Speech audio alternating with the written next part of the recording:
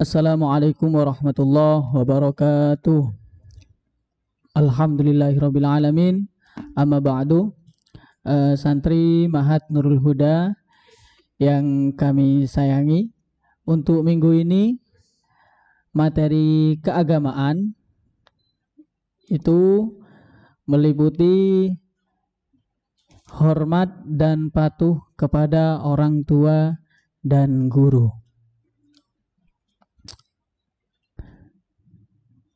Baik, langsung saja. Baik, di sini istilah orang tua mencangkup tiga komponen. Pertama adalah orang yang menyebabkan kita lahir, yaitu ayah dan ibu. Dan yang kedua adalah orang yang mengajari kita berbagai ilmu pengetahuan, yaitu para guru, baik yang mengajari saat kita masih kecil ataupun waktu dewasa. Biasanya guru disebut orang tua rohani. Dan tidak ada kata mantan guru. Jadi meskipun uh, guru SD atau guru ngaji masih kecil itu tetap guru. Tidak ada yang namanya mantan guru kita. Dan yang ketiga adalah orang yang menyebabkan pasangan kita lahir, yaitu bapak dan ibu mertua.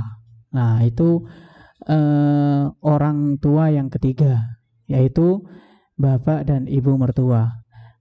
Ketiga cangkupan untuk istilah orang tua itu wajib kita hormati karena jasa-jasanya sangat besar. Next.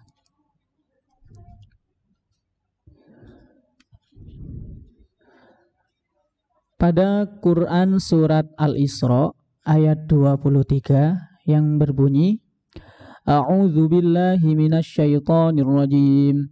بسم الله الرحمن الرحيم. قضى ربك ألا تعبدوا إلا إياه وبالوالدين إحساناً.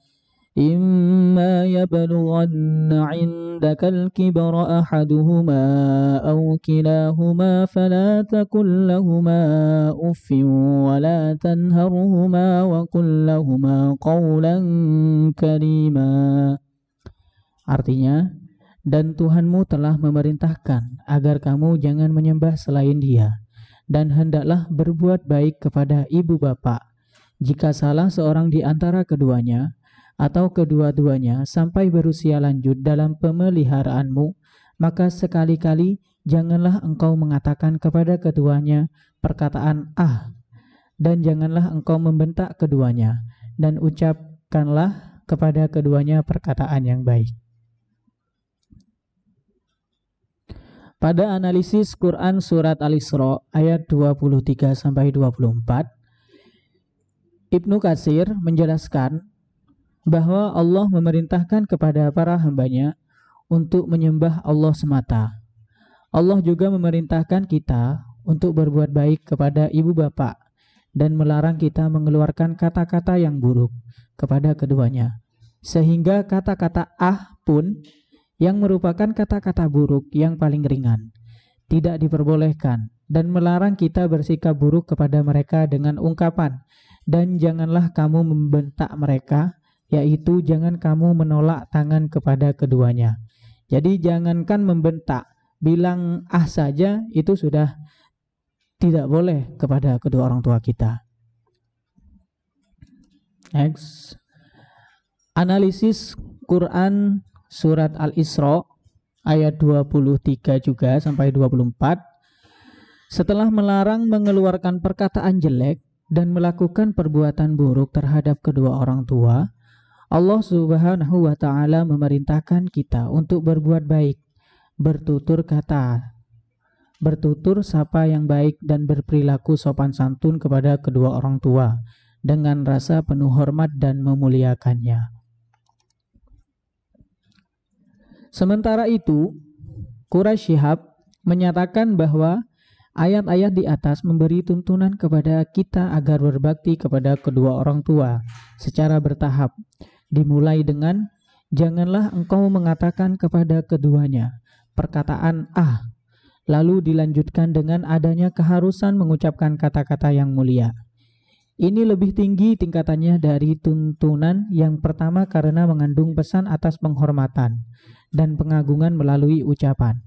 Selanjutnya meningkat lagi ke dengan perintah untuk berperilaku yang menggambarkan kasih sayang sekaligus kerendahan hati di hadapan kedua orang tua. Perilaku yang lahir dari rasa kasih sayang akan bisa menjadikan mata sang anak tidak lepas dari orang tua Sang anak selalu memperhatikan dan memenuhi keinginan orang tuanya. Akhirnya sang anak dituntut untuk mendoakan orang tua sambil mengingat jasa-jasa mereka terlebih di saat masih kecil.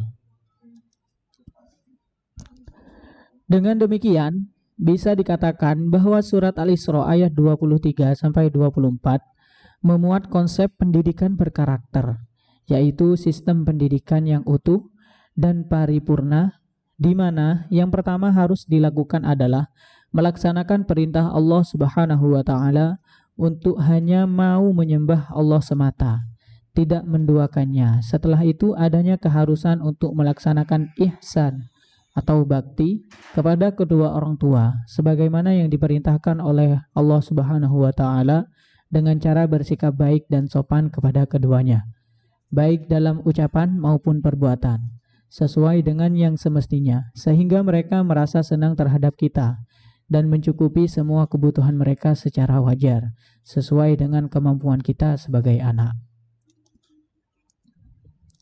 Sudah mungkin cukup sekian materi keagamaan minggu ini. Semoga bermanfaat untuk kalian semua. Kurang lebihnya mohon maaf. Wassalamualaikum warahmatullahi wabarakatuh.